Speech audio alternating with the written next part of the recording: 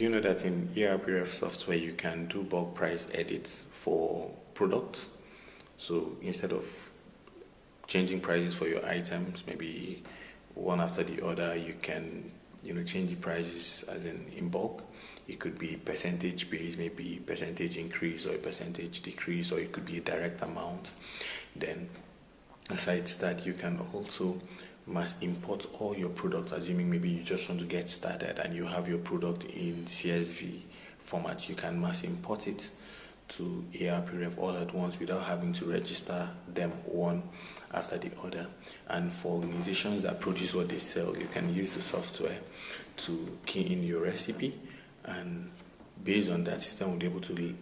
you know calculate for you the actual cost of a single product. So for people who do not really know the actual cost if you know the the quantity of each raw materials that you put in to, to produce one item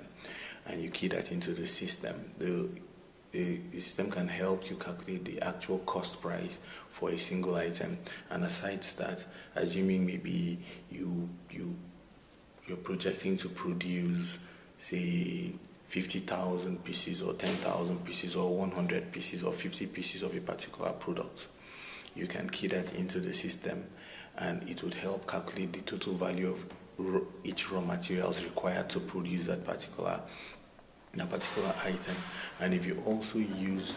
product as raw material it's also possible to do that you know capture that in ERPRev with ease. And there are a couple of other functionalities and we'll talk about it in our next video.